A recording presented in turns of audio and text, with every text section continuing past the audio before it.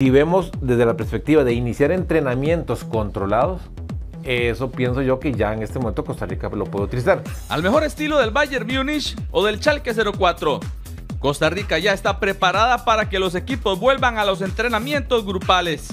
Utilizar toda la cancha de fútbol con grupos de 5, separados entre sí 4 metros, e iniciar bajo ciertas características y cierto marco de referencia actividad física. 35 años de experiencia en medicina deportiva le dan autoridad a Willy Galvez para hablar del tema, que además es profesor de la Universidad de Costa Rica, fue médico de la Federación de Fútbol del Saprissa y también integrante del panel antidoping de la FIFA.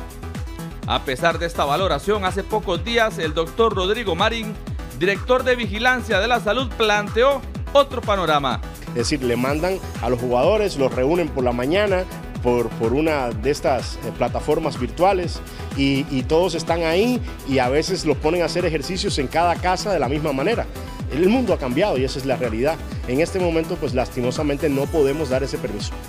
Galvez explicó todo el proceso que debe seguirse para que el fútbol nacional regrese y lo importante de aplicar estos entrenamientos antes de volver a la competencia.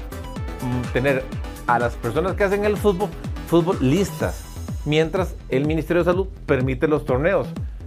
¿Qué pienso que el, que el torneo nuestro va a tener que arrancar con un torneo inicialmente cuando el Ministerio lo diga a puerta cerrada, luego el Ministerio tendrá que decir cuando es a puerta abierta con limitación de capacidad del estadio y luego ahora sí, torneo abierto sin limitaciones.